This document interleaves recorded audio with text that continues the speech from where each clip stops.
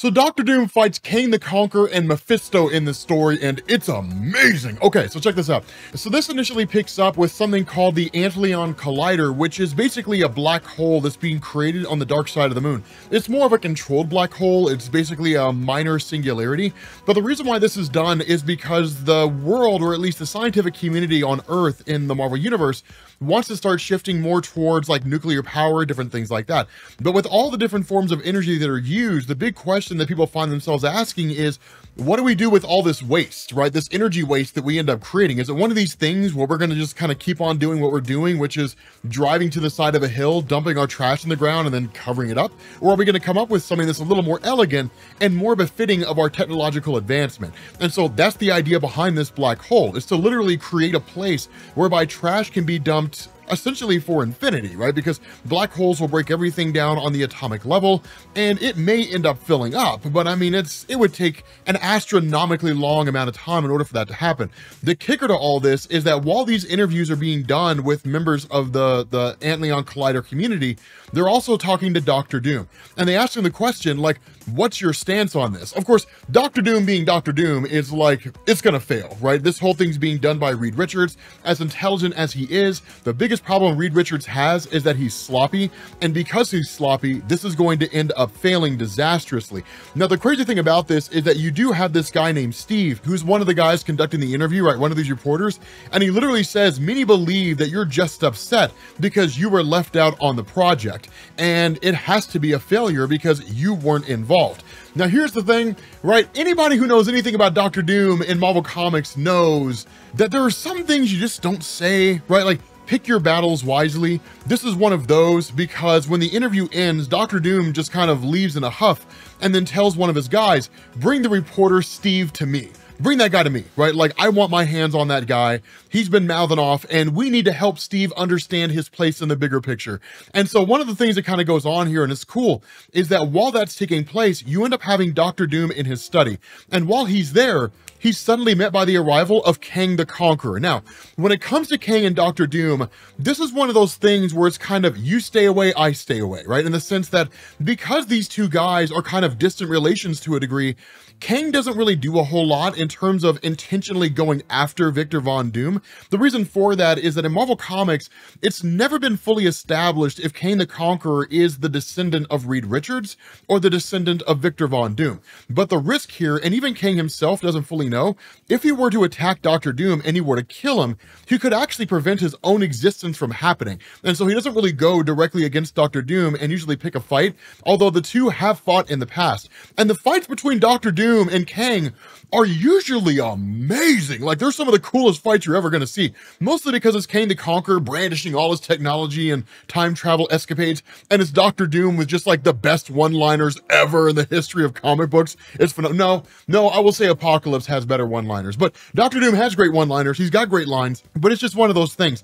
But it's also because of the fact that Doctor Doom is so astronomically intelligent, and because he's so capable, and because his lust for power in a lot of ways mirrors that of Kang, there is a kind of respect that has grown between the two. Also because of the fact they've helped each other at different points in time. And so Kang being here is one of those things where it's a little mysterious. We don't really know why he's here in the first place. The nature of the conversation is really more just kind of banter back and forth between the two. And that's basically it. And then Kang ultimately just sort of teleports away. But what Doctor Doom ends up doing is as he prepares for bed, that he actually ends up having this vision of a woman that we haven't discovered yet and she and Doctor Doom have a family, right? Like they have a whole full on family. And so Doctor Doom really kind of going back to his quarters right after this sort of hallucination, which really even takes him by surprise, he ends up opening the door only to find that he's on the moon where the entire Antlion project has gone awry. According to his prediction, it's manifested a full scale black hole and is sucking everything in around it. Now, here's the thing to understand. If a black hole opened on the moon, it, we would die so fast we wouldn't even be able to understand what had happened, right? Like literally it would just probably be a flash of light and like that's it. That's all we would see. But the thing about this is that once Dr. Doom, of course, the next morning, he's basically told, hey, we have Steve, that uh, he ends up going to find where Steve is basically just kind of strung up. and he's like, make sure he's fed today tomorrow we might not feed him, but today make sure he's fed.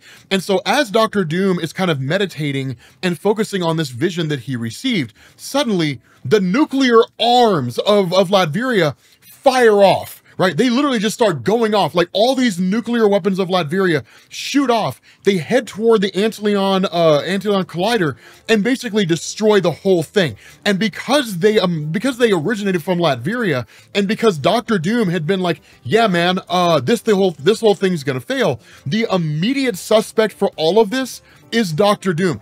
And these guys come swooping in, right? Just, I mean, it's, it's, it's shoot out of the OK Corral, right?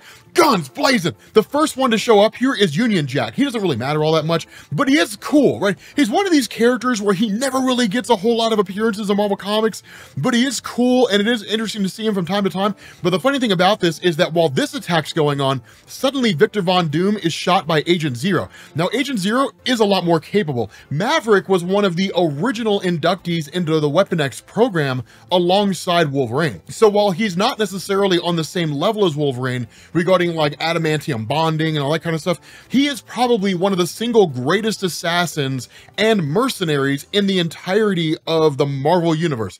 It's crazy how good he is. And he even goes as far as to say Interpol's reward, right? The international police, their reward just shot up for Victor Von Doom. Like literally everybody's got it out for this guy.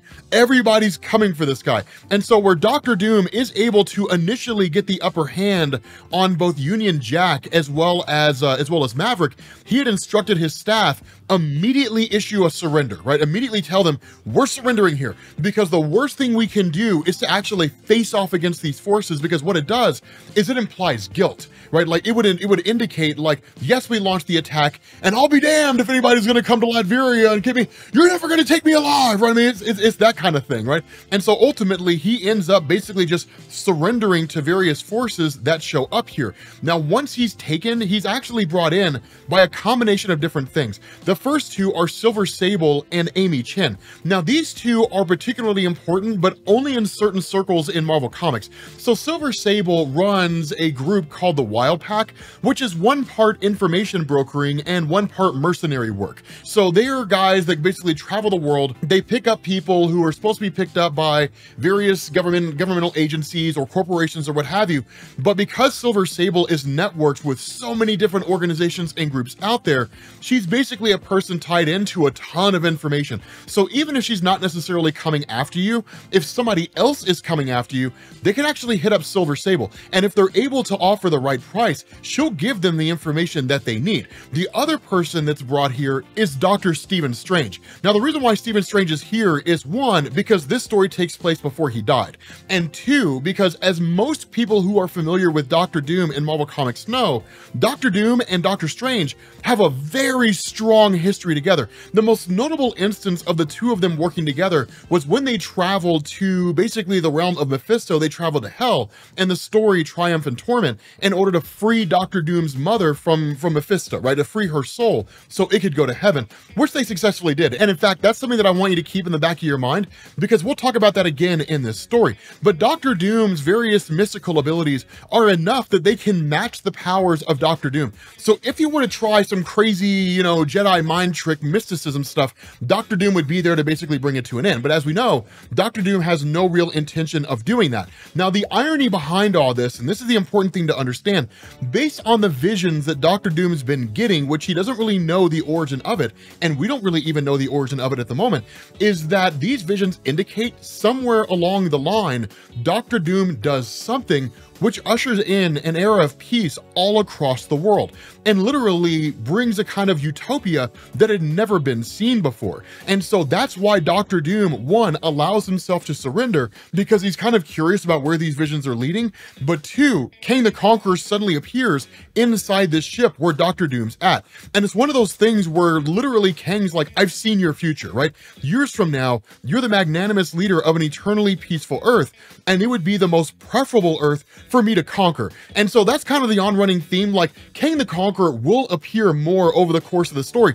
And really, if anything, he kind of shows up. I mean, Doctor Doom does fight him a couple times, but he shows up more often than not in order to help Doom because he's like, the things that you're going to do are basically going to make the Earth a, a utopia, but it's also going to make the Earth weaker, and it makes it easier for me to conquer. So like, here's some stuff to help you because in helping you, I'm helping myself, right? Like, that's really what he does for a good chunk of the story.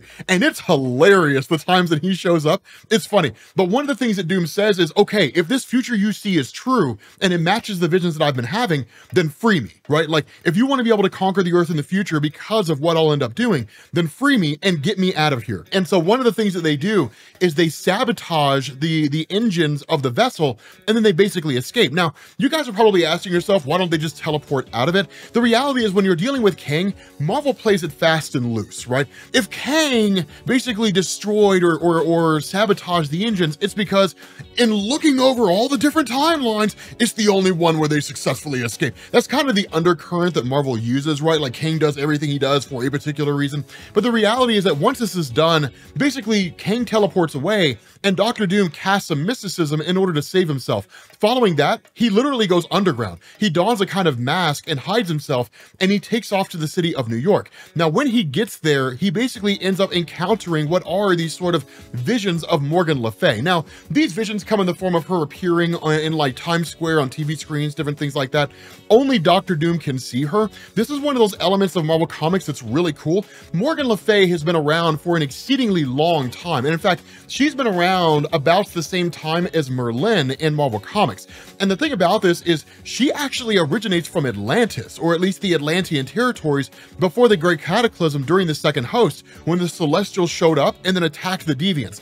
That is to say, she's been around for thousands of years, and she's incredibly powerful. She's not the most powerful person ever, but it's kind of a loose-knit family between like her and Doctor Doom and Doctor Strange and like the Scarlet Witch and Brother Voodoo, people like that, just these people that practice like magic and mysticism, which is really weird when you think about it because like there was a time when Morgan Le Fay and Doctor Doom banged, so that's kind of cool. But the thing about this is that while all that's going on, what you end up having is Reed Richards of the Fantastic Four, while it's off panel, he comes to the realization that if Doctor Doom has actually escaped and Doctor Doom's out there on the lam, then what they need is someone who's every bit as intelligent as Doctor Doom, meaning this person is one, it like kind of shares the number one spot for the smartest person in the Marvel Universe, but is also immensely powerful. Powerful enough that they can stand toe to toe with Doctor Doom. And so what you end up having is Herbie the robot, who's kind of like the robotic assistant of the Fantastic Four, basically traveling to Cornell and meeting with Adam Brashear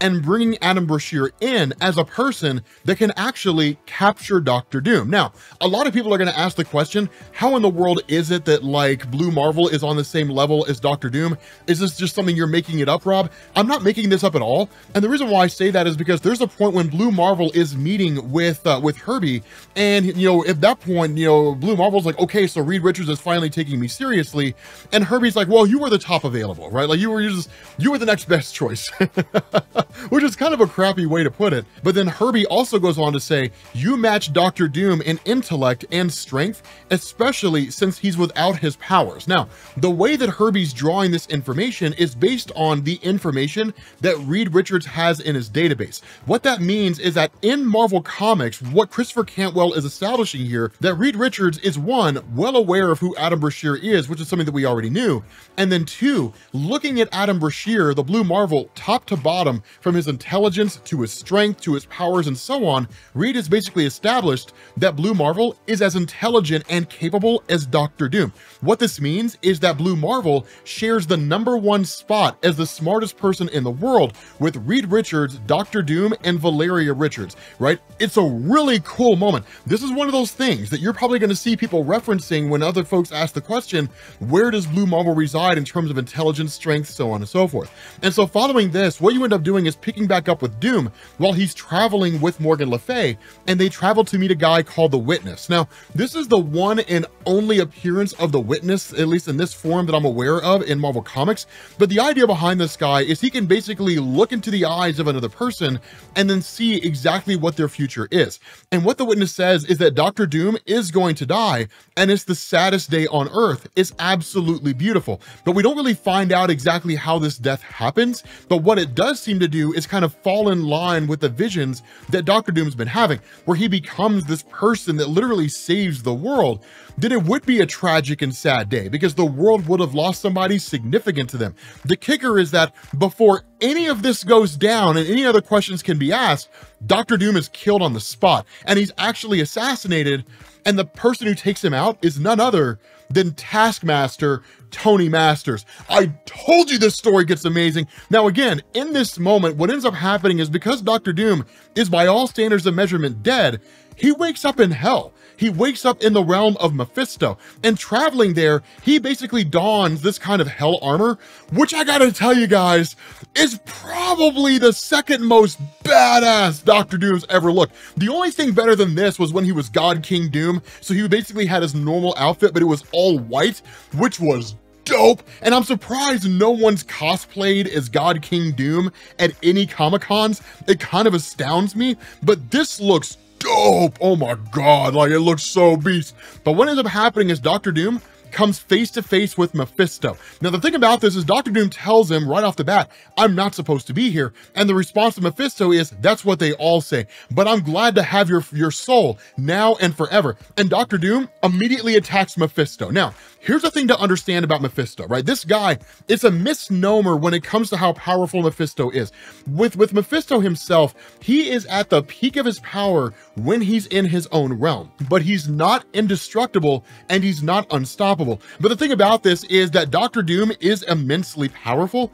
The reality here is Doctor Doom's not powerful enough to overcome Mephisto, to beat him in his own realm like this. And so what kind of goes on here is a bit of bouncing back and forth where Mephisto starts playing games with Doctor Doom. Now, one of the things that I want to establish here, and it's really kind of more of a background of what's taking place, is that you do have the kingdom of Latveria where Doctor Doom normally resides. What you have next to it is a place called Symkaria. And Symkaria has kind of been a war-torn place for quite some time.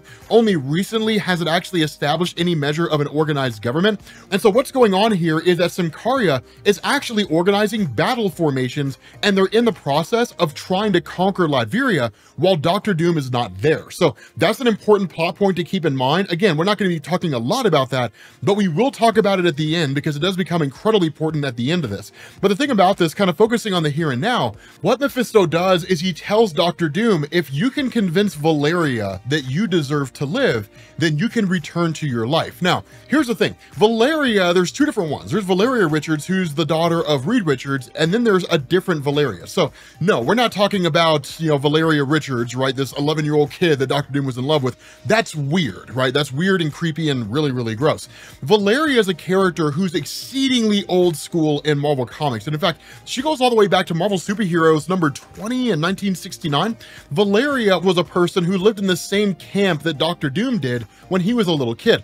They were basically, you know, they, they kind of fell in love as teenagers as much as anybody could. But as Dr. Doom became consumed by vengeance and power, Valeria basically left him behind, right? She just didn't want to be a part of that life. And as a result of that, she eventually fled. Dr. Doom caught up to her and basically convinced her that he was going to leave all that madness behind and all he wanted was her, love, and a life. And so she ultimately bought into it. What was really going on in probably one of the most just amazing stories that Mark Waid ever wrote in the Fantastic Four back in volume three, back in 2003, the idea here is that what Dr. Doom had done is he had actually tricked Valeria and he effectively sold her soul behind her back so that he could attain mystical armor, right? Enhance his powers.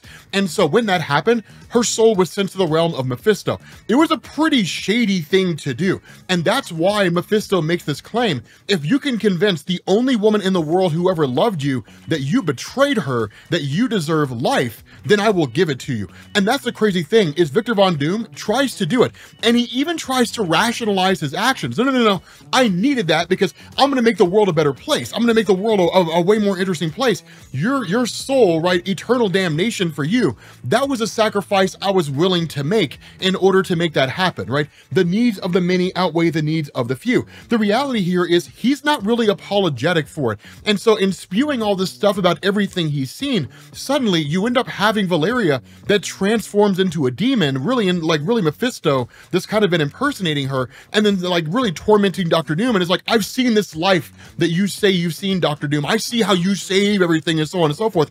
You're never going to attain it. That's going to be your damnation here, right? Your eternal torment is going to be that you know without a shadow of a doubt that your one dream in this world actually comes true, that you become this leader of, a, of this earth, you lead it into utopia, you become everything that you believe yourself to be, and you're never going to be able to attain it. That's going to be your hell. And so literally a fight breaks out between the two, and it's pretty knockdown drag out. But in the middle of all this, Mistress Death appears and is like, done. This fight's over, right? He will return to his life, Mephisto. Now, here's the thing.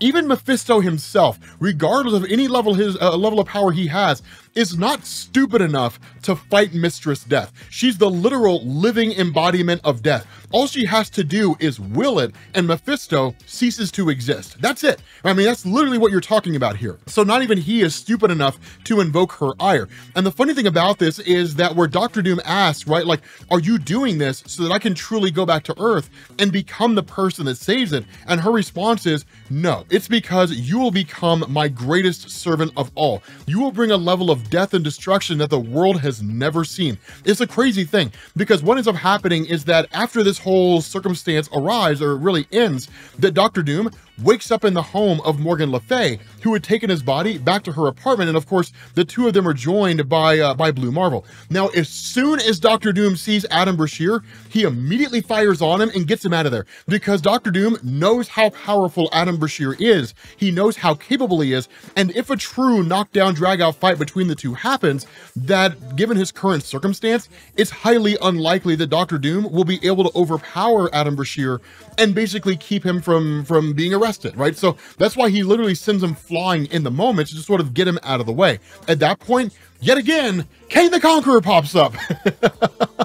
Kang the Conqueror appears. And it's one of those things where it's kind of an information brokering, right? At that point, Dr. Doom's like, okay, Kang, I need you to rattle your brain. I need you to tell me what timelines there are where I was successfully killed in this moment here and now. Not five days ago, right? Not 50 minutes ago, at this moment right now, right? I need to know who it was that killed me. And the response of Kang is, it was Taskmaster, and he was hired by Advanced Idea Mechanics. And so what literally ends up happening here is Dr. Doom finds the base of Advanced Idea Mechanics, right? He literally breaks in, he steals their weapons, and starts shooting the place up. He kills everyone, right? He just, he, like every single soldier they have, they all die. Now, here's the thing. I had previously stated that Doctor Doom, without his powers, is basically useless. I was wrong, right? I was 100% wrong. Unlike most people on the internet, I can admit when I'm wrong when I'm when I think I'm wrong. Unfortunately, I usually never think I'm wrong, so I usually never admit when I am wrong. Just kidding. But here's one of the things, right? I never really considered Doctor Doom to be capable when he didn't have his arms and armament. This dude's a beast, man. This guy's rolling through here with just the, with just the biggest gun I've ever seen killing everyone he sees, right? Just overpowering them all. He duplicates himself several times over, and all those different forces, right? All those different versions of himself start attacking all these different soldiers. So he still uses his powers to a degree. But at the end of the day, it comes down to him and Taskmaster. Now, this is when you really get to see what Doctor Doom is capable of. I never believed he was good when it came to hand-to-hand -hand combat, mostly because you never really see him doing hand-to-hand -hand combat. It's always like, you know, I'm Doctor Doom and magical spells and just badassery all over the place. That's usually all you ever see. But seeing him facing off against Taskmaster like this and overcoming Tony Masters is impressive as hell, right? It's a pretty, pretty cool thing because remember, when you're fighting against Taskmaster, you're not just fighting Tony Masters, you're fighting everyone Tony Masters has ever fought, right? So you're fighting Captain America, Spider-Man, Deadpool, Wolverine, like all these different characters because it's, it's a Rolodex. He just pulls those fighting styles out. And depending on the circumstance, especially when he was fighting Black Panther, he actually merged all those fighting styles into one to where he would punch like Captain America, but he would dodge dodge like Spider-Man and he would kick like Deadpool. It was cool, man. It was just, it was just one of the coolest things. Just, just some amazing moments that you see in Marvel Comics. And so once Doctor Doom gets the upper hand on Taskmaster, knowing that Taskmaster's mission was quote unquote finished with Doctor Doom, the next thing he wants to know is who are you supposed to go after next, right? Because he literally asked him, who hired Advanced Idea Mechanics to kill me, right? That's what I want to know. Who hired them to take me out? Who hired you to take me out? And where he initially won't give that explanation, the reality here is Dr. Doom's smart enough to know that if Taskmaster is going after Dr. Doom, then Taskmaster is also going after people associated with Dr. Doom. And so that's when he's like, I want to know who this is. Who is it you're supposed to go after next? And that's when he says, it's Frozina, right? It's a woman named Frozina. And at that moment, Dr. Doom basically ends up realizing there's a much bigger thing going on here and immediately goes after that chick, right? Immediately goes after Frozina. Now, the other thing that takes place here is kind of working his ranks up, right? Basically continuing to take out Taskmaster, as well as what seemingly the rest of Advanced Idea Mechanics. He's met by the arrival of MODOK. Now, MODOK doesn't really offer much in the way of a challenge here for Doctor Doom. He kind of does, but he kind of doesn't. He tries to shoot him with like a mental blast. Doctor Doom has the shield of Taskmaster and his sword. He just stabs MODOK in the chest.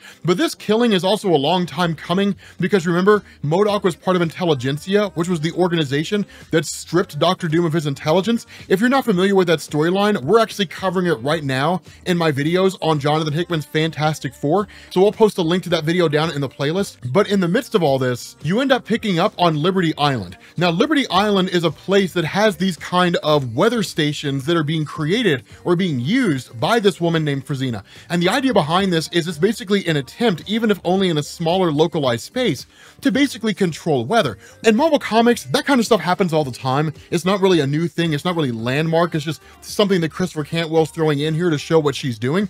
But in the midst of all this, one of the things that we learn is she is from Latveria. And we know this because there are discussions that take place with, between her and the people around her where they ask questions like, you know, is Doctor Doom really an effective leader? You know, is it a good thing that he's gone? That kind of stuff. And she's like, understand, right? The law of sedition and rendition. Those individuals who speak ill of Latveria and its leader, especially Latverian citizens, will literally be tossed in some kind of a re-education camp. I don't want to be one of those guys, so I'm going to go back to doing what I was doing, right? That kind of a thing. It's just kind of bred into them in terms of how they function. The other part of this here is that while you do have Doctor Doom in a library who's basically reading up on Frozina, the reason why this name is so significant comes when he's visited by Kang the Conqueror yet again. And when, when the, the two of them really start talking, is Doctor Doom saying, in these visions that I had, the woman that I end up marrying is Frozina. Like that's the person that I end up marrying and that I end up having a life with. So the reality is if she's a target of advanced idea mechanics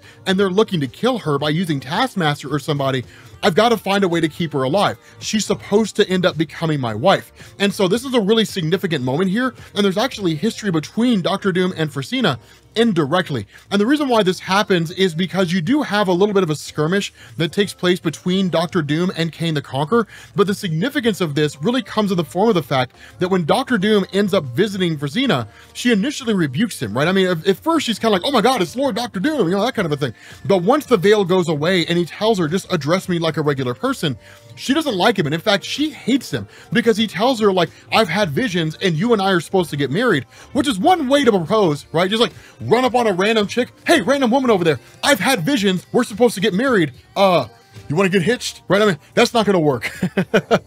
but the reason why Frozina hates Doctor Doom is because there was a point during Doom War when Doctor Doom had invaded Wakanda and stole its vibranium that a journalist in Latveria had spoken out against Doctor Doom because of that. And what Doctor Doom had done is he had jailed that guy basically for, for sedition, right? For speaking ill of Latveria and of Doctor Doom. And that guy is still serving a prison sentence. That guy is the father of Frozina. And that's why she hates Doctor Doom because the guy was just doing his job and the price he paid is, is basically a life of imprisonment. And even Doctor Doom goes as far as to say, I should have had your father executed for what he did.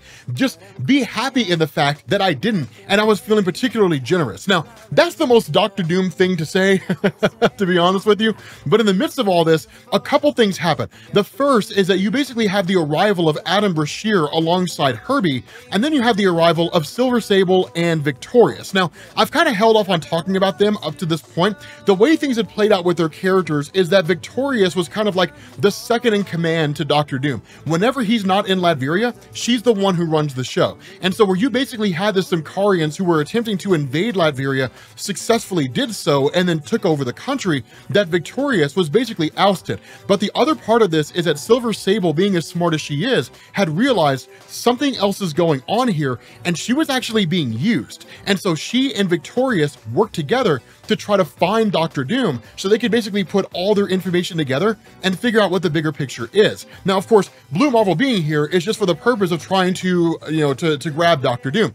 And it's really an amazing moment because a fight breaks out between the two and Adam Brashear holds his own against Doctor Doom. And that's one of the things that I hope you notice here. In terms of Doctor Doom facing off against uh, against Blue Marvel, it's really him just trying to hold off the power of Adam Brashear. And this is due to the fact that in this moment, Doctor Doom is not as powerful powerful as Adam Brashear. It's a pretty cool moment, right? It's a pretty cool and badass thing where literally Blue Marvel is more powerful than Doctor Doom in this moment. Now, of course, yet again, Kang the Conqueror shows up. I told you he would show up at like the funniest moments and at the most inopportune times. What's really cool though is that this is an exceedingly opportune time. He shows up here with just this insane weapon and is like, okay, Doctor Doom, this is for you because remember, you gotta live so that you can make the world easier to conquer for me. You're like, I told you that's his whole motivation is showing up here strictly for that. And in fact, what you end up having is Adam Brashear, who immediately attacks Kang the Conqueror because Kang the Conqueror destroys Herbie. And so in that moment, Adam Brashear, like the Blue Marvel, kills Kang the Conqueror, right? He kills him on the spot, just incinerates that guy. And that's when Doctor Doom's like, okay, yeah, we got to get out of here. Like, we got to find a way to bail. The other part of this, though, is that no one's prepared for what comes next. Because what happens here is that with Kang the Conqueror, it wasn't simply just a weapon that he gave Doctor Doom. What he also gave him was an advanced suit of armor from his own timeline, right? From Kang's own timeline in doing that, what it does is it restores Victor Von Doom back to his full power. He's got the full brunt of his technology combined with his mysticism and advanced weaponry from Kang the Conqueror. Blue Marvel's like, look, here's the thing, Doom. We have to put these grievances aside. This black hole is going to emerge. Everything's going nuts with the Antlion Collider. We have to do something. And the response of Dr. Doom is no. Like, I'm not going to do that. I'm going to go home and I'm going to take care of my country. Reed Richards wanted to be the one to run the show, then let Reed Richards run the show. And if the entirety of the project goes awry and a black hole singularity opens at the moon, I will deal with it and I will take care of it, but I will take care of it because I'm better than he is. But I want the world to know that Reed Richards is a failure. I want the world to know that he's nowhere near as capable as I am. Literally, Doctor Doom is willing to potentially see the Earth destroyed just to make Reed Richards look bad. And so where this picks up is actually the first time they've spent any meaningful time together over the course of the story arc. Now, Doctor Doom and Kang have a history, a pretty lengthy history. And in fact, back in the day, in the original comic escapes me, but back in the day in Marvel, there was a point when Kang the Conqueror, after he adopted the identity of Rama-Tut and was defeated by the Fantastic Four in ancient Egypt, he ended up coming back to the modern era and then after meeting Doctor Doom, basically fashioned a suit of his own that was similar to Doctor Doom and started calling himself the Scarlet Centurion, right? So just one of those little bits of history here. But the long and short of it is that these guys have a lot of respect for each other, but their egos are off the charts, right? They're like they're like Dwayne Johnson cooking the books with Black Adam. The hierarchy of power in the DC universe is about to change.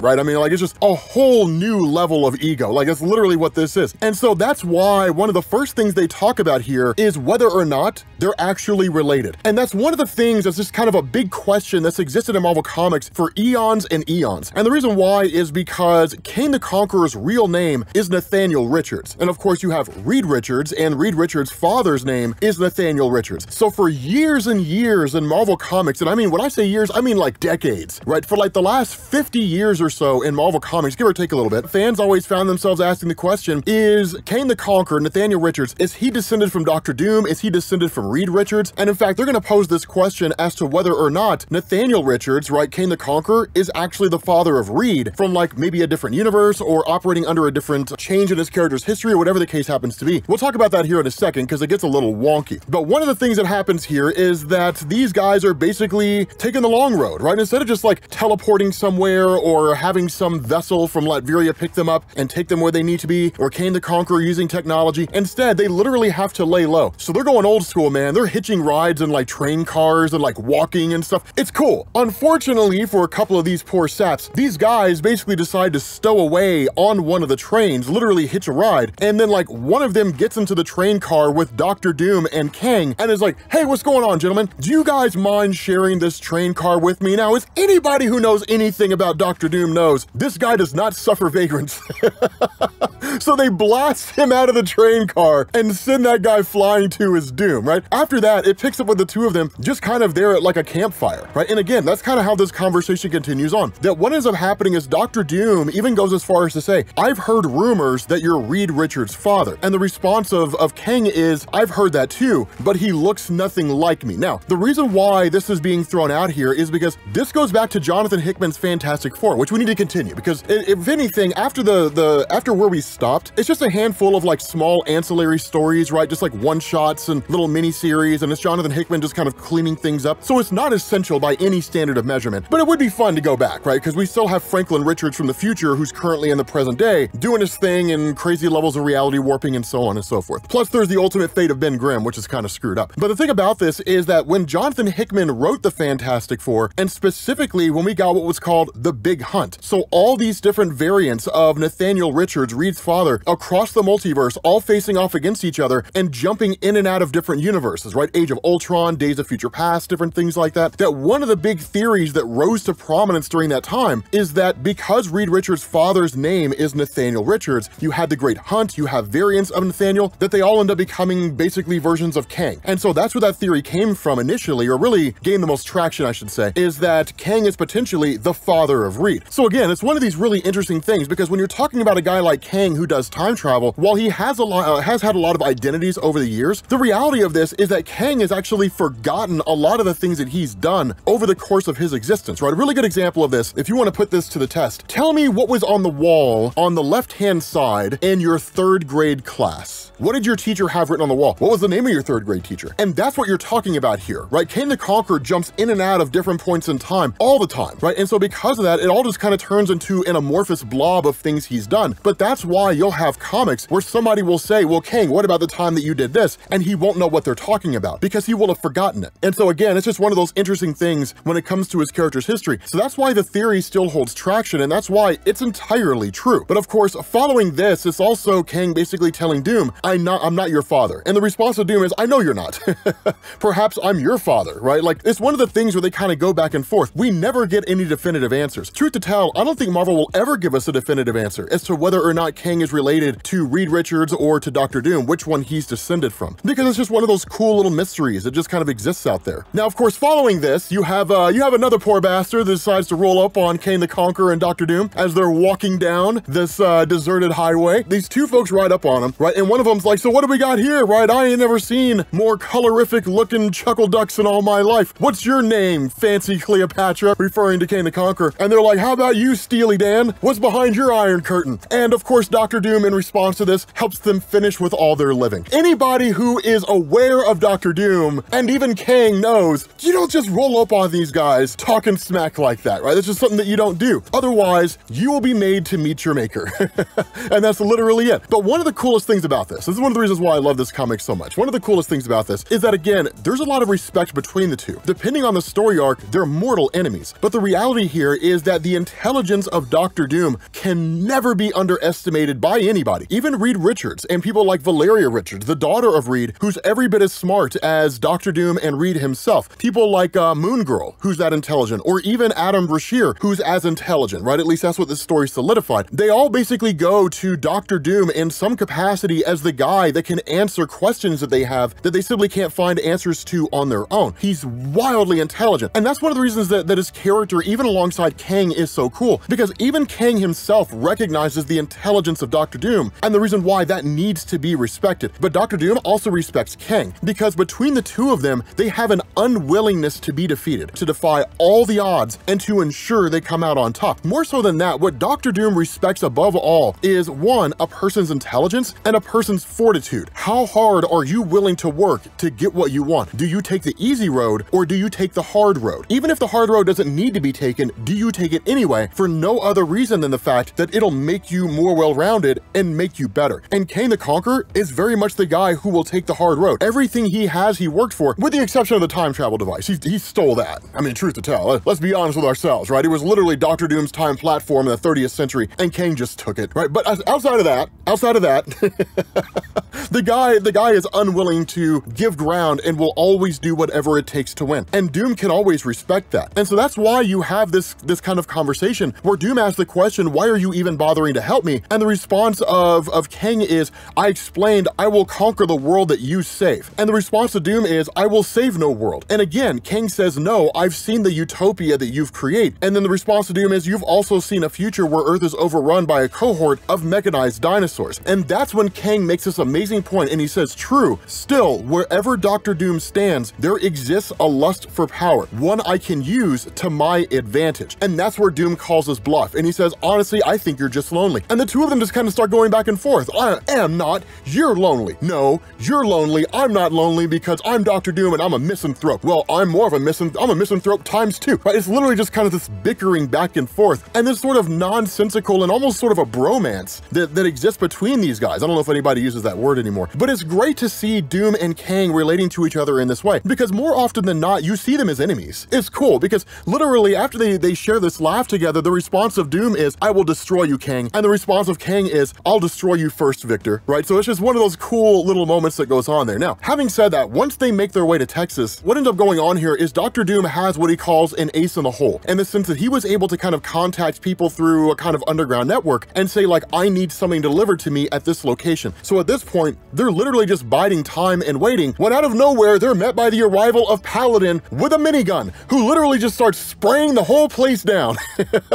literally, this guy's just standing there with a minigun, unloading everything. Honestly, it looks like an M60, but he's just spraying everything down, only for them to find out the way in which they were found was because of the orb. Now, here's a few things to explain here. Is Paladin an important character? No, Paladin sucks. He's always sucked. He's never been a relevant guy. There's never been an instance in the history of Marvel Comics when all these villains are all teaming up to face off against the heroes and they're losing and then Paladin shows up and the saved. That's never happened, right? The guy's about as irrelevant of a mercenary as anybody possibly can be. But more so than that, the orb, this guy's just downright goofy, but it is still cool to see that they have their history intact. So here's the thing, when it comes to the orb, this guy was completely and totally irrelevant in Marvel Comics until a story was written that was called Original Sin. And what this guy had done is he had discovered the dead body of the Watcher, which had actually been killed by Nick Fury, but he had taken one of the Watcher's eyes. And because everything the Watcher has seen over the course of his existence was stored inside of his eyes, the orb basically broadcast all that information to the world, so everybody learned everything about themselves that they had previously never known. A really good example of this is during, oh my god, Jonathan Hickman's Avengers, the New Avengers, when Captain America was originally part of the Illuminati during the incursions, when like the multiverse was collapsing and the Illuminati were talking about destroying alternate Earths, that when he disagreed, his mind was wiped by Doctor Strange at the direction of Iron Man, and then he was thrown out of the Illuminati, so he didn't know any of that stuff. But during Original Sin, all those memories were restored to him, and then he had lost his super soldier serum and just became this crotchety old son of a gun and was literally going like like going after the Illuminati. Like he took over S.H.I.E.L.D. and brought like the full might of the US military and the intelligence community on to like find the Illuminati. It was amazing, man, because for a time, Captain America was kind of a warlord and it was pretty boss. Like it was amazing.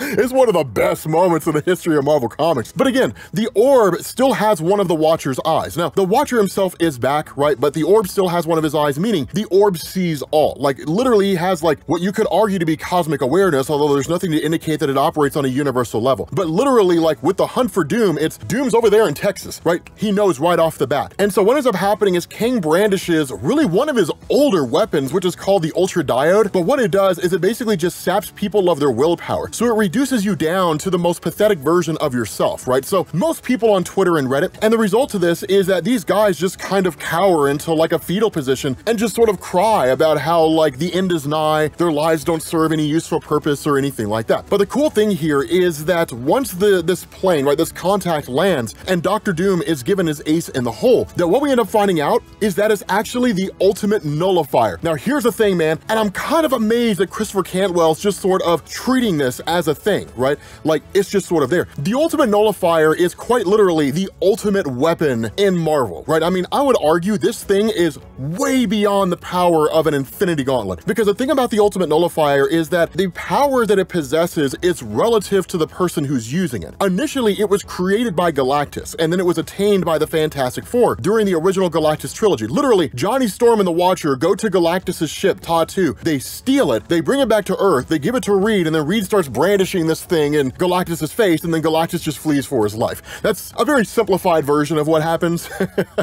but like, this thing scares the hell out of Galactus. And the reason why is because if you put the Ultimate Nullifier in the hands of an idiot, it may not necessarily work. You put this thing in the hand of Reed Richards, you could annihilate the universe. Doctor Doom, you could wipe out the whole universe. The benefit of the Ultimate Nullifier is that it doesn't just destroy whatever you aim it at, it basically makes it so it never existed. So a really good example of this is that if Doctor Doom were to point the Ultimate Nullifier at Spider-Man, then Spider-Man would simply cease to exist. Not only that, it would be as if he never existed. So seemingly, nobody would have ever heard of Spider-Man, nobody would have ever, like any images of Spider-Man that exist would ultimately be gone, right? They would just disappear. Like this guy, the, the entire evidence of this guy's existence would vanish forever. That's really the major implication of the Ultimate Nullifier, and there's really no way to bring them back. So that's why I say, I mean, presumably, you could point this thing at like the Infinity Gauntlet or any cosmic entities, probably even the Living Tribunal, maybe, I'm not really sure, I guess it just kind of depends, but the thing is insanely powerful. So the fact that it's in the possession of Doctor Doom means this guy means businessman, and so what ends up happening is that once he has the Ultimate Nullifier, we end up finding out this is the reason why Kang was here in the first place. That the reality here is that Kang wanted to attain the nullifier for himself, but unless he decided to screw up the time stream, Doctor Doom had to get his hands on it in order for Kang to take it from Doctor Doom. Things have to happen in a certain order when it comes to the progression of time throughout the universe. And so as soon as Doctor Doom gets the ultimate nullifier, Kang turns on him and then steals the ultimate nullifier. But before he can get away, this is the crazy thing, before he can get away, Doctor Doom quite literally stabs Kang the Conqueror in the neck. Like literally literally stabs him in the neck, right? Blood goes everywhere, leaves him for dead, and then just takes off on his horse, right? Just like rides off on his horse. And so following that, Doctor Doom basically ends up getting to Mexico. And when he arrives there, which is kind of weird to see, he ends up basically grabbing a payphone and he calls Reed Richards from a payphone. And the reason why is because during the time when Doom and Kang were traveling together, the question that they had is, how do we do, how do we end that black hole? And they were asking questions like, can we use antimatter? It's like, well, antimatter is still composed of mass. So literally mass plus mass mass equals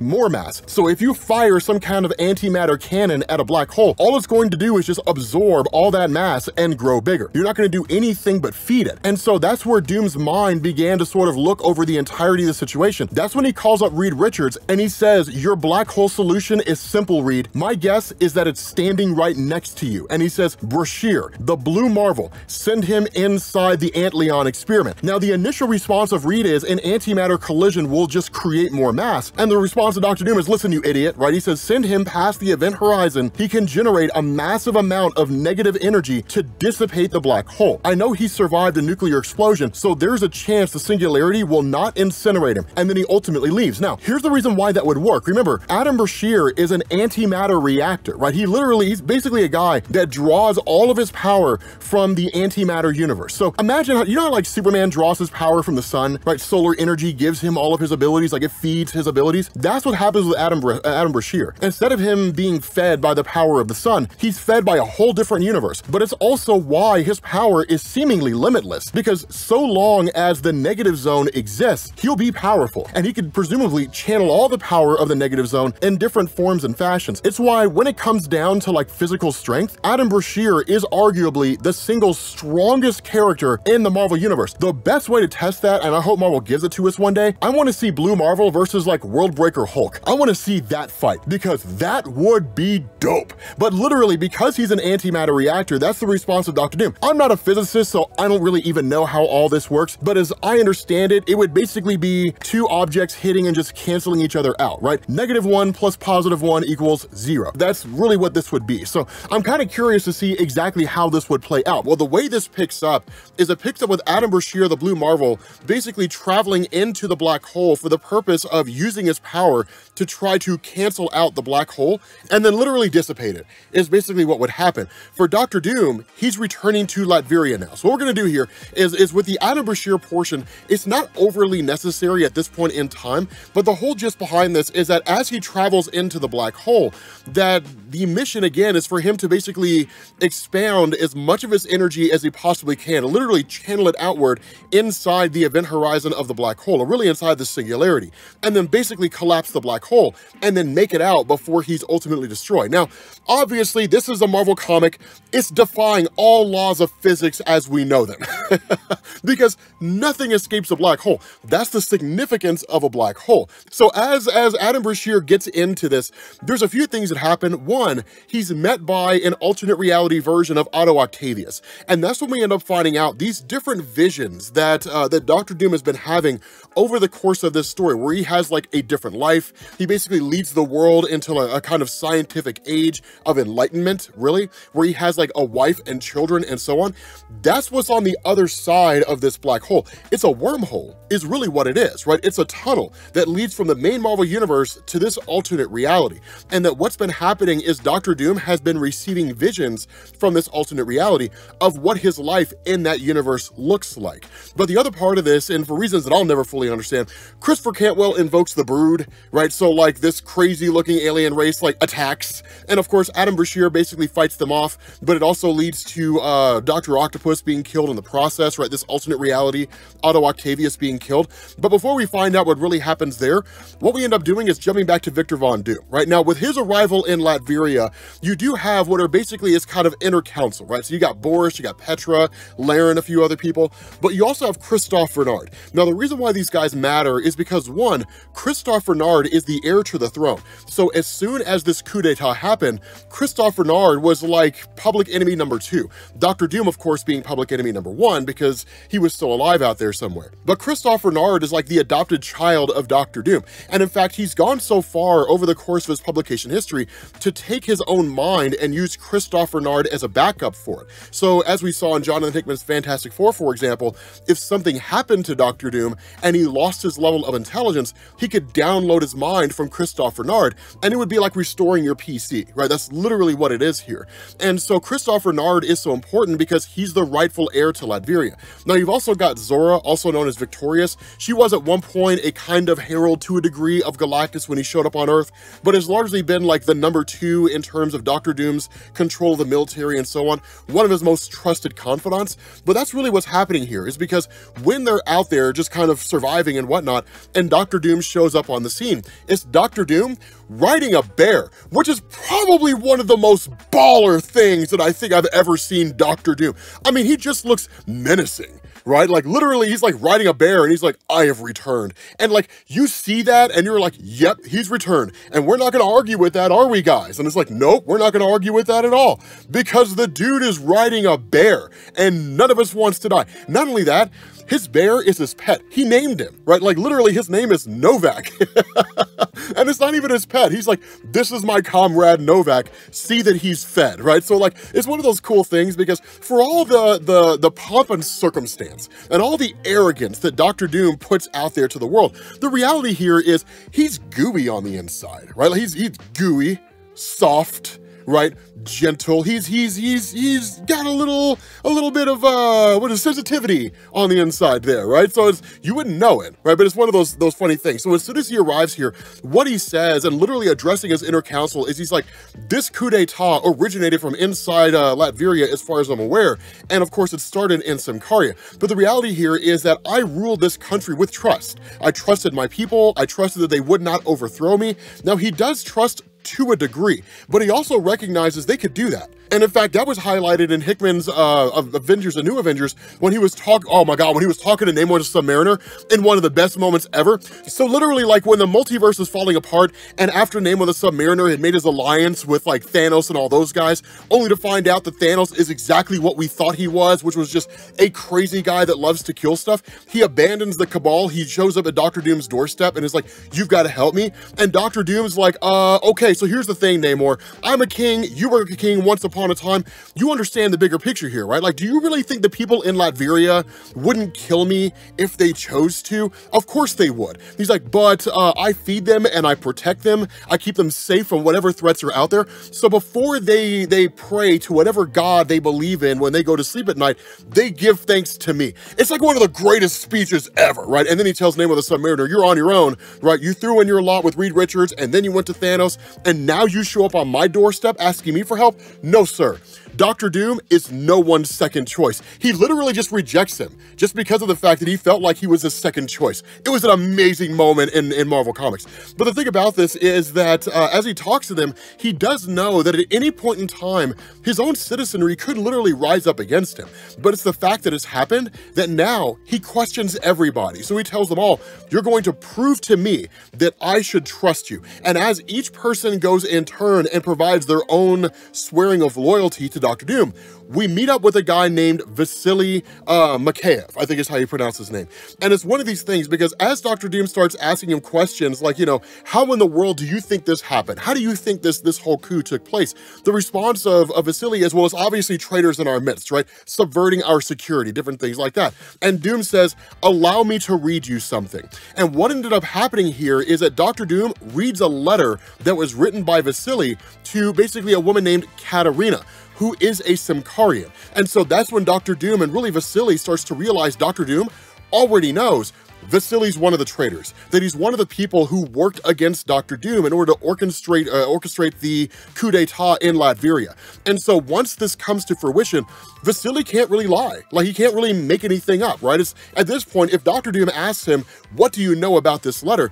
Assume it's rhetorical. Assume he already knows the answer. And so that's when Vasily is just like, okay, right, the jig is up. Like there's nothing he can do. And Doctor Doom tells him, I'll give you a two minute running start. This guy hauls ass out the door because he knows Doctor Doom well enough to know he's not messing around. Doctor Doom walks out there and at one minute, 59 seconds, the clock strikes two minutes. He fires the shot and kills Vasily on the spot. And then he's like, feed him to my bear. And like, that's it. That's how Doctor Doom gets things done, guys, right? It's, it's, I love how he's handled. I love the way Christopher Cantwell writes Doctor Doom here. It's absolutely phenomenal. But the other part of this is he actually ends up meeting with Victorious. Now he knows Victorious well enough to know there's no way she'd be involved in a coup d'etat against him, right? So for, for, you know, to a degree, she kind of gets a pass. But what he does is he presents her with the ultimate nullifier and says the ultimate nullifier takes an astronomically focused mind in order to use it. Otherwise, the user will destroy themselves or accidentally cause any manner of things to come to an end. So I'm giving it to you to hold on to for safekeeping because my mind is not as focused as it used to be. But then following that, he travels directly to his castle in Latveria. And it's one of the coolest moments because when the coup d'etat took place, a guy named Dmitry Fortunov was basically put in charge of Latveria as the new ruler of the kingdom. He's more of a puppet than anything else, kind of the guy who's there to make it look like he's running the show when in reality, he's just being told what to do. So basically any American politician, and the reality of this is that when Dr. Doom shows up, he's just kind of like the ruler of Latveria. An impressive title, Dmitry, right? An impressive title. You must carry it with dignity. Stand up straight. After all, you're king, and hold your head high. He who reigns looks down on those who don't. But something's missing. Yes, a true leader must have this. And that's when Dr. Doom removes his helmet and shows his face and says, if you are going to be the leader of Latveria, this is what you must look like. And he forces this guy to start cutting his own face up, right? To disfigure his own face. And then he turns, he says, the ruler of Latveria must also be a god, Dmitry, right? Can you fly as a god flies? And then he throws him over the banisters and the guy falls to his death. And he's like, alas, a mere mortal quite the pity. But then in that moment, he actually ends up getting a vision of his kids from the alternate reality, but they've cut their faces up to look like him. And the view of it is so astronomically crushing to him that he actually sort of collapses on the spot, right? He almost passes out from the strain. Because remember, these visions that he has of his kids, of the life that he could have, it's what he aspires to. It's what he wants. It's almost like this life that's unsullied by everything that exists out there in the world right now. And so what he does is he kind of gives us this little bit of a monologue where he says that over time, you know, once he was met by Victorious, and I wouldn't say nursed back to health, but Victorious was able to help him regain his bearings, Doctor Doom basically sits, like, he literally takes his throne back.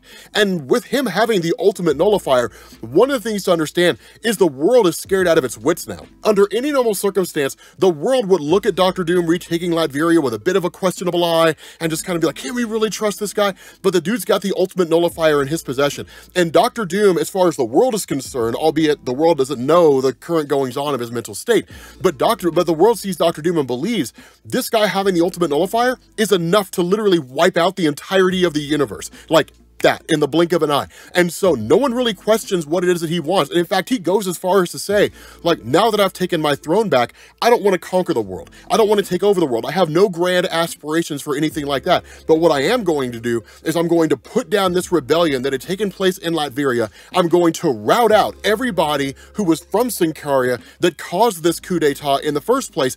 And then I'm going to take Symkaria. And that's going to be it. And the world doesn't stand in his way. So literally, this guy launches an attack against the neighboring country. And let me tell you something, man. This guy, son, son, son, they they were not prepared. This guy comes in and it's just like it's it's hell, it's fire and brimstone, right? It's Old Testament, man. This guy comes in and he's literally like, I seized control of this entire country. I conquered everything, right? He says like the Symkarian invasion was over quickly. My blood became charged with the verve as we stamped out every conspiratorial smudge of scum, every whisper of usurping vermin. I even dusted off my old blaster buggy, which is an actual thing that he used to have back in the day. I haven't driven in ages. What fun it was to lay waste to so much at such invigorating speeds. Here was Doom at his greatest. I am a strong proponent of total war and no quarter. If you're going to break the back of an entire nation, you might as well do it right. We even killed most of the livestock. They just clean slated Symkaria, and it was as much of a message as it was anything else. This guy goes full on Keyser Söze, right? I, I, don't know if we ever ran over that, right? But like Keyser Söze, the story of Keyser Söze is amazing, right? We're gonna kind of scroll comment panel so you guys to see what's going on. But the story of Keyser Söze is amazing because for those of you guys who never heard about this, it was from the usual suspects, right? And it's literally Kevin Spacey who gives the story and he says that Keyser Söze was just like this drug runner, right? This guy that ran like a small little drug operation and that was it. But you had these, these Hungarian warlords that wanted to basically make a name for themselves. And what they knew is that true power is not how much you have and how much you control. It's about your willingness to do what the other guy won't. So these Hungarian warlords, I think they were Hungarian, basically show up at uh, Keyser Söze's home. They find his wife and kids, right? They basically do what they will with his family. And when Keyser Söze gets back, he finds his wife has been violated and his kids are crying. And so these guys literally tell him, we want your whole operation. We want it all. We want the drugs, the money, we want your contacts, the whole nine yards, right? They wanted to show Keyser Söze that they were that they were men of will, that they were willing to do whatever it took. And so Keyser Söze showed these men of will just what will really was. This guy killed his wife and his kids, and then he executed every single one of the Hungarian warlords except for one. And then he let that guy go and tell the tale. And then once all these guys, like once once his family was buried, then he goes to work, right? He killed these Hungarian warlords' parents. He killed their parents' friends. He burned down the homes that they lived in. He burned down the businesses they worked out of. He killed the people who owed them money. And then he vanished. And that was it, right? You never found out what happened to Keyser Söze after that. Well, you do, but you got to watch the usual suspects to find out. That's literally what this is, man. That's literally what this is. It's like that guy said to John Lithgow in that movie Ricochet. You didn't beat him. You just pissed him off and now you're fucked because now he's going to be out for blood. And so what we end up doing here is we basically switch over to Doctor Doom basically finding Katarina, right after the letter that he read to Vasily. He ends up taking one of the swords, him and Katarina get in a sword fight, he cuts her down and that's the end of it. Following that, Katarina tells him, I'm not the one who started the coup d'etat in Latveria from Symkaria. I'm not the one who caused it. Instead, she points him to the, to the person who did. And what he ends up revealing is that it's a woman he's never met. He doesn't know who she is, doesn't know what she's about. But ultimately, these people launched the rebellion against Doctor Doom from some from Symkaria to seize control of Latveria, and that this woman herself had a daughter. And the daughter that she had was basically left behind when this woman fled after her husband was killed. This woman's been in Symkaria ever since and been plotting to overthrow Doctor Doom. But her daughter was taken by the rebel forces that sided with Doctor Doom and then raised as their own. the girl is Victorious. That literally the number one, really the number two commander of Doctor Doom's army actually has some Symkarian blood. Now, Victorious wasn't working against Doctor Doom, and in fact, she didn't even know her own heritage. She didn't know that this woman who had orchestrated this whole coup in Latveria was her own mom. She had no idea that was the case. And so instead, what Doctor Doom does, really with, uh, with uh, Zora herself, is he orders her to kill this woman after telling Victorious that this woman is her mom. And while Victorious does follow the orders as they were given to her, at the end of the day, Doctor Doom assumed that Victorious wouldn't really care that she would just see this woman as Symkarian scum, as a rebel, right? A person who tried to orchestrate a revolt. Instead, while it doesn't necessarily lead Victorious to turning against Doctor Doom entirely, it does permanently fracture the relationship between the two of them. She doesn't trust him as much anymore, and she doesn't look at him the same way anymore. Following that, every single person who was in some capacity you know, associated with the coup d'etat in Latveria from Symkaria, whether they're in Latveria as, as collaborators and orchestrators, or whether they're from Symkaria or not, it doesn't matter. They're all summarily executed by firing squad. So literally, like, Doctor Doom takes no prisoners. And the funny thing about this, as this kind of final act, is what he does is he muses to himself and he says, despite all this violence and all these things that he's done, at the end of the day, he has no intention of staying this way. That what he's going to do is he's going to travel to the moon, he's going to find a solution to fix this whole Antlion Collider problem, and then he's going to become the version of himself that he saw in his visions. The version of himself himself that by all standards of measurement is much better and far more peaceful than he is right now and has led the world into a place where it becomes more more advanced right basically ushering uh, ushering in a new era but notice this Dr. Doom's not doing it because it's the right thing to do. None of it comes from an altruistic motive. He's doing it because he sees it as his best possible chance to rule the world. And so following this, once he completes all of his research and everything and literally develops a plan, that what he says is he's kind of devised a whole like laser and experiment and so on, which is way beyond my ability to comprehend, but basically it keeps getting fired into the black hole, which will help to reduce the black hole in size. The problem with this is that Doctor Doom's ego becomes his own problem. That what happens here is that as he talks to Reed Richards, who literally just wants to wish him good luck, Doctor Doom's own ego and really his own self-consciousness starts to become an issue when he starts to believe that Reed has an ulterior motive. That Reed's just like, yeah, good luck, Doctor Doom. You're gonna need it, man, because maybe Reed Richards has realized something about Doctor Dr. Doom's experiment that Dr. Doom didn't realize himself. But because of how much he hates Reed, and because of all the insecurity that he has in this comparison to Reed, that he actually starts recalculating all of his experiments. He basically starts to second guess himself. And when that happens, he makes a fatal error. Because when he does, the machine fires off, it hits the moon, and it blows part of the moon in half. And then following that, Doctor Doom disappears. And so when that happens, he basically wakes up in this alternate reality, in this alternate universe where he's met by his alternate self. And this is where things get really, really cool because as he meets this alternate reality version of himself, he doesn't really attack him, right? Instead, he's just like, I want to learn. I want to know how it was you successfully managed to conquer the world. Now, notice the conversation between these two is starkly different because this good version of Doom, right? This, we'll call him Victor, right? Victor does not use phrases like, here's how I conquered the world, here's how I subjugated humanity, different things like that. It's we and us. It's a collaborative effort from his perspective, whereas Dr. Doom is seeing it as you did something that allowed you to seize control of the entire world.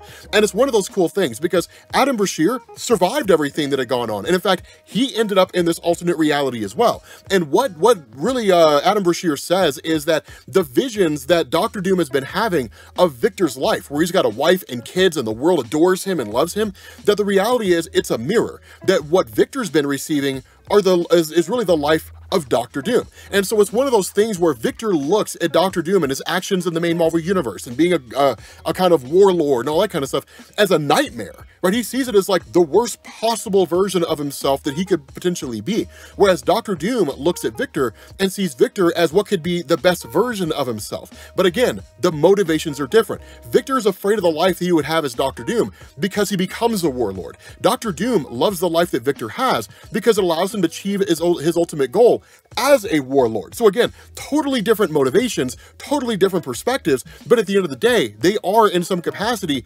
mirrors of each other. And that's what's so cool here, because as they begin to talk, this Victor personality kind of starts to rub off on Doctor Doom to a degree, right? Where Doctor Doom is perceiving all of this as Victor just because he's so much smarter than everybody. And like, that's it. But one of the things Victor says is, you're wrong about that. And I want to hear you say that you're wrong. I want to hear you tell me that you were wrong. And the response of Doom is, I was wrong, right? And it's really hard for him to say because he's got to swallow his pride to do it. But then they get to the home of Victor, which is a really nice and beautiful home, but it's not the castle of Doomstadt in Latveria. And Dr. Doom asks Victor, like, why would you give up our birthright? Why would you give up this castle to live in this this this kind of this hovel, as he calls it, right? Like this this small home that just does not really stand as a testament to the greatness of who we are. And the response of Victor is because none of this is about how great I am. None of this is about how awesome and intelligent I, as Victor Von Doom, am. That's not what this is supposed to be.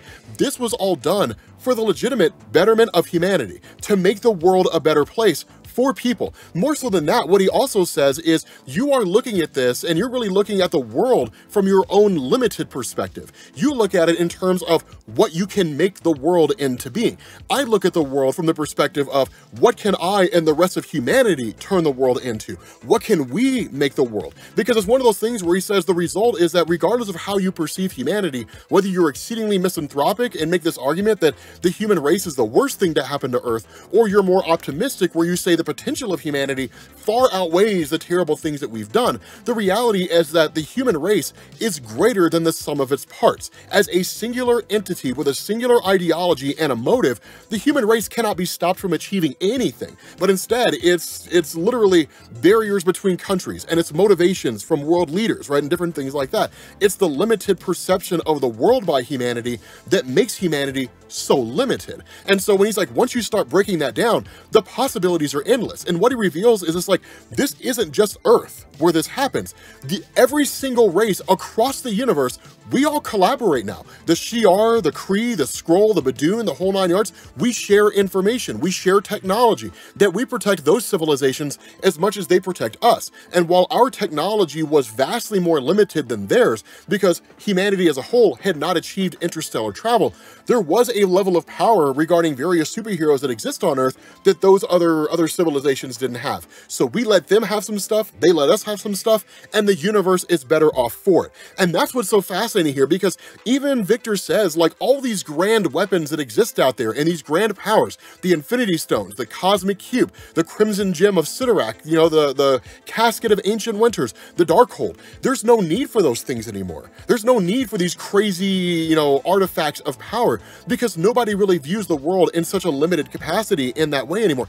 We don't need it. We do what's right because it's best for humanity. And so as this whole conversation takes place, that what Victor tells Dr. Doom is, you can achieve this. You can do this on your own home world. You can literally bring this world, or really bring what I've done, to your own world, but you're going to have to drop this facade. You're going to have to drop this armor that you have. You're going to have to learn to forgive guys like Richards, and you're going to have to heal your face. And he says the reason why you have to heal your face is because you know just as well as I do, at any point in time, you could heal your face. You could restore your face back to a sense of normalcy, but you choose not to because having a scarred face allows you to remember how humanity has wronged you. That instead of becoming one with humanity and leading humanity, you want to subjugate the human race because you see yourself as better than them. You are the very definition of a misanthropic narcissist, right? Like you believe people don't matter and they should be subjected or sub, uh, subjugated because you're somehow more capable than they are. And he says, think about it for a moment, Victor. It's all a farce, a desperate and honestly pathetic attempt to conceal your endless fear. It currently permeates every fiber of your existence all the way down to the silly finger guns in your metal gauntlet hand. It's all ludicrous. Your entire mode of being is ludicrous. You know that I'm right. And when he says that, it's the final straw. Dr. Doom kills Victor on the spot. Then he seizes control of the ultimate nullifier in this alternate reality and wipes out the whole universe. Literally kills the whole universe on the spot. He ends up having, you know, taking Adam Brashear out, and Adam Brashear arrives back on Earth. But Doctor Doom is just like, no, I will not have it said that I, Doctor Doom, Victor Von Doom, the smartest being in existence, has somehow joined the limited intellectual minds of humanity, and I've somehow become a part of them. I don't want to be infected by the human race. I don't want to be that kind of a person. If the human race will become better, it's because I will make them better. I will lead them into becoming better because I will subjugate them and turn them into something better. But if humanity could be better, it would have already been better by now. Humanity doesn't want to be better because people are stupid, but I will make them better. And so it's it's like the most misanthropic thing ever, right? But literally, wipes out a whole universe on the spot,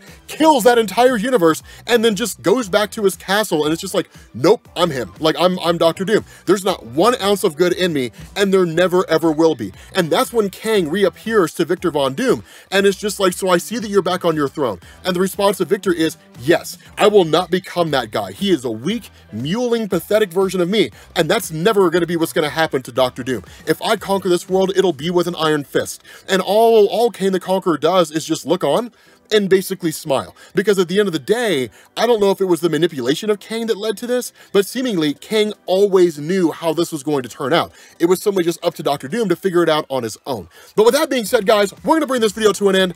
Amazing story. I loved it. Thank you all for watching, and I'll catch you all later. Peace.